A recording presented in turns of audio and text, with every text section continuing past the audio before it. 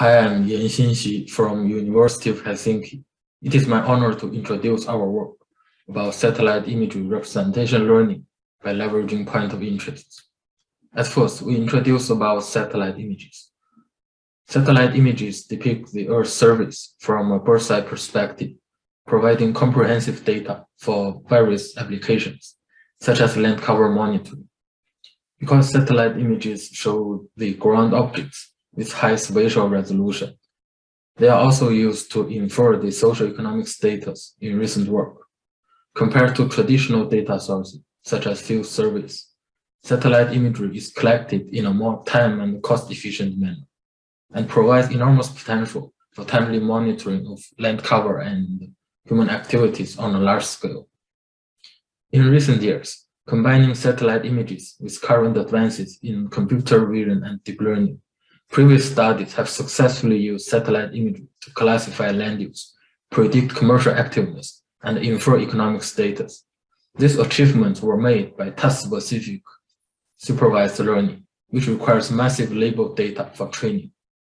But in most applications, obtaining a large volume of high quality annotated data is extremely difficult. In general, satellite imagery delivers large amounts of information, but a lack of labels makes many downstream applications difficult to implement. Therefore, to reduce the need for labeled data, the research community has turned to unsupervised representation learning for satellite images.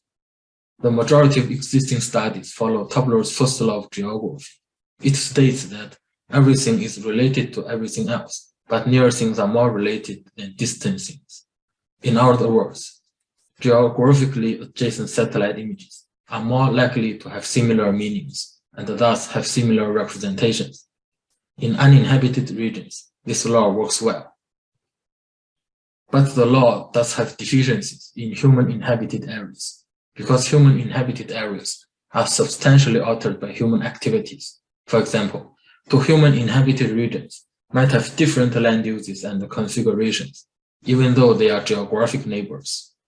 So human activity is very important in describing the surrounding areas in urban regions. To bridge this gap, some studies incorporated human efforts into their representation learning framework by having experts annotate a small set of satellite images as urban, rural, and uninhabited, and then distilling knowledge from this annotated dataset.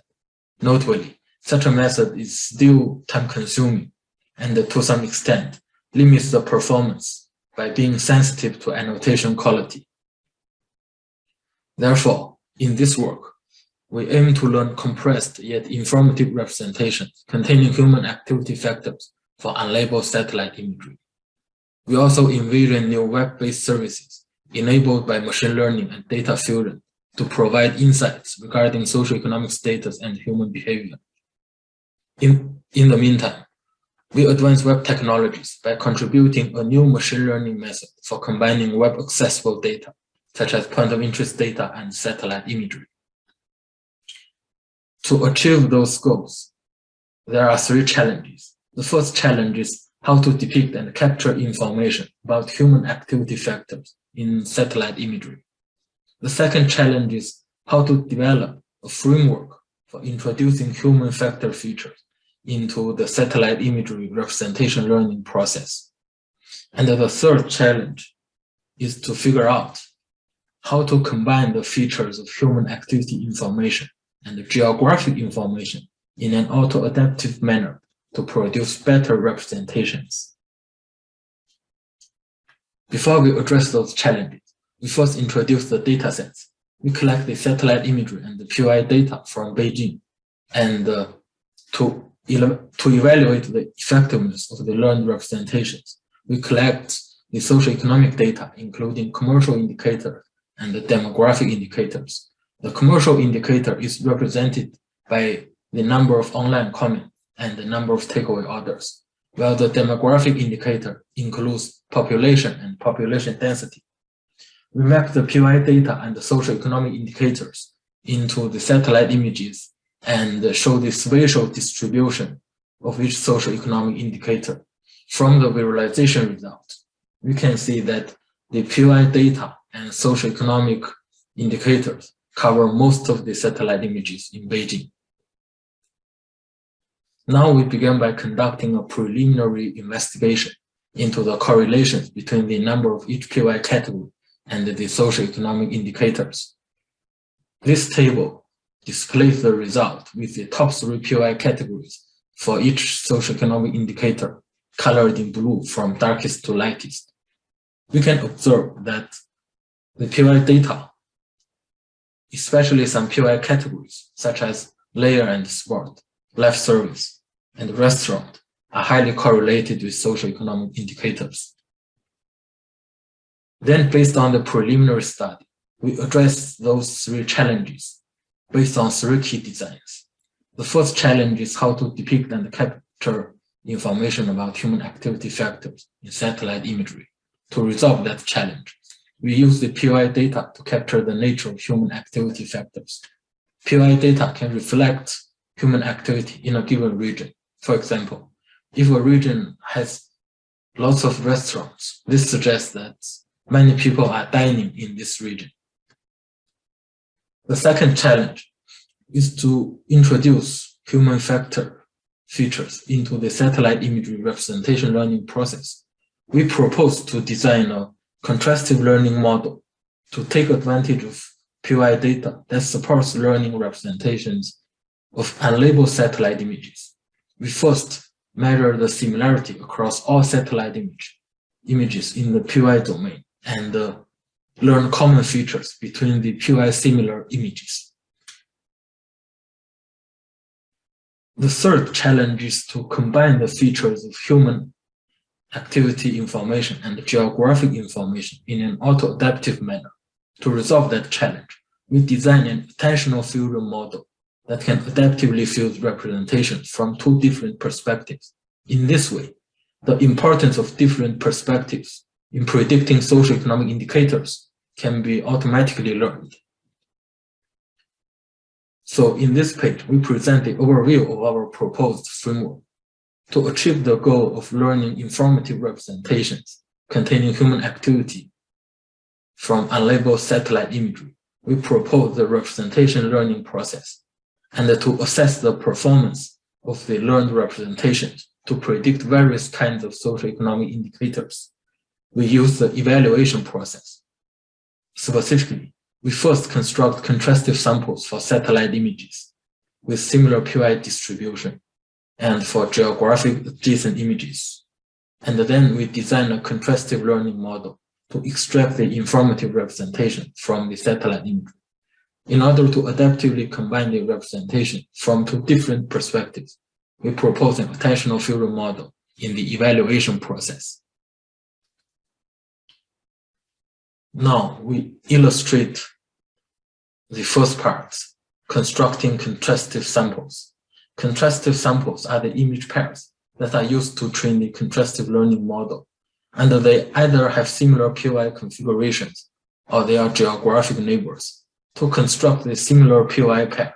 For each satellite image, we define a POI vector with each dimension representing the number of each POI category. And those satellite images with the least POI distance are considered to be the most similar satellite images in POI domain. We also select for each satellite image the geographically most adjacent image, which is the one nearest neighbor satellite image in geographic space. Now, until this step, we have the similar POI satellite images and the geographically adjacent satellite image pairs. And then we introduce the contrastive learning model. The contrastive learning model maximizes the representation similarity of the satellite images from the same pair, and it also enlarges the representation dissimilarity of the satellite images from different pair. In this work, the model is separated into POI view model and the geographic view model. The former is based on the similar POI satellite images, and the latter is based on the geographically adjacent satellite images. We use the representation of the final layer, the CNN, for the downstream tasks.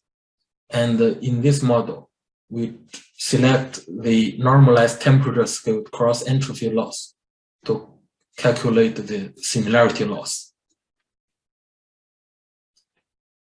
And now for each satellite image, we have geographic view representation and POI view representation.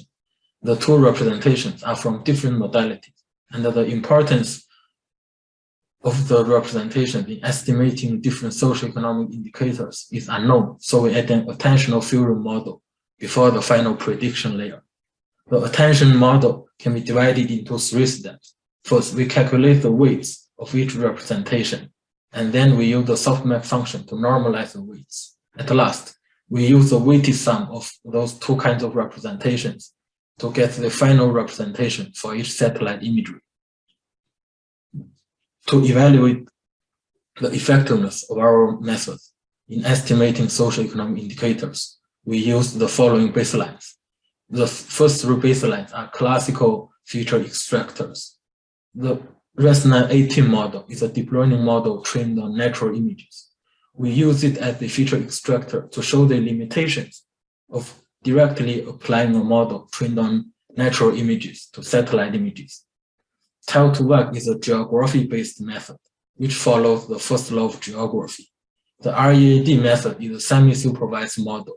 It is trained on a small subset of human-labeled satellite images and a large number of unlabeled images. The last three methods are variations of our method. Now we show the overall comparison results. The best performance is in both phase. We also underline the best baseline method, except from variations of our method. We can see our method with the attentional theorem model, combining human activity information and the geographic information, outperforms all the baseline representations when predicting various kinds of socioeconomic indicators. Now, in this slide, we show a case study of our method. We map the POI view representations into a two-dimensional space, and then visualize how the satellite images of different socioeconomic indicators are located in the representation space. We first select six anchor points as shown in the figure and display the corresponding satellite images. From those satellite images, we can see the development status increases from anchor point 1 to 6. Then we use the population data of each satellite image to verify our analysis. We see the population also increases from anchor point 1 to 6. Therefore, we can conclude that our proposed POI view model can learn highly informative representations containing human factors from unlabeled satellite images. Then we show the experiment results of the generalization ability test of our proposed model. We conduct experiments with another well-developed city, that is Shanghai, and an underdeveloped city, that is Shenyang in China. We began by applying the trained model on Beijing to the satellite images of Shanghai and Shenyang. And then we use the representations of the satellite images to predict the corresponding socioeconomic indicators of those two cities. We can see from this table that even these two cities are with different levels of economic development. Our contrastive learning method with an attentional model still outperform, the baseline in predicting the socioeconomic indicators. Then in this slide, we verify whether the learned representations can be used to depict the similarity between two regions. We randomly select three satellite images of Beijing with varying populations and compute the cosine similarity between the representations of the selected images and all the images of Shanghai. Then we show the satellite images of Shanghai with high cosine similarity. From this visualization result, we can conclude that our learned representation can find similar regions across different cities with high performance. to conclude, in this work, we use the POI data to capture the human activity factor in satellite imagery representation. We also design a contrastive learning-based framework to combine the POI data and the satellite imagery in representation learning. At last, we construct an attentional fusion model to fuse the POI view representations and the geographic view representations of satellite image, images. Thanks for listening. Any Thank you very much. Sorry, I, I just got a call. My sorry, sorry for this. Thank you very much for the for the for the video. Uh, and you're available for questions, Jensen, right? Here we go.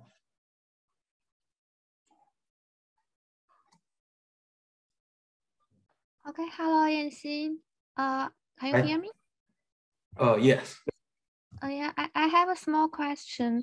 Uh, did you consider the effects of two factors? Uh, the first one is the uh, spatial resolution of the satellite images. Uh, and the second one is uh, uh, the categories of POI data. Um, thank you. That's a very good question. Um, actually, we, we are doing some research about the spatial effects of spatial resolutions and the POI category. And uh, at now, we found that um, some POI categories are really important in the in the representation learning process. But uh, some POI categories, uh, I don't know whether because it, their number is very small, so they don't show many effects in the final prediction process. And uh, for this, for the spatial resolutions, um, because you know uh, satellite images with different spatial resolutions, they contain different error. So that's indirectly um, affect the number of POI data in that region. And uh, at now, I think the best, maybe the best spatial resolution for the satellite images would be between, would be about um, five and 12 meters. I think it will be around that. Thank you.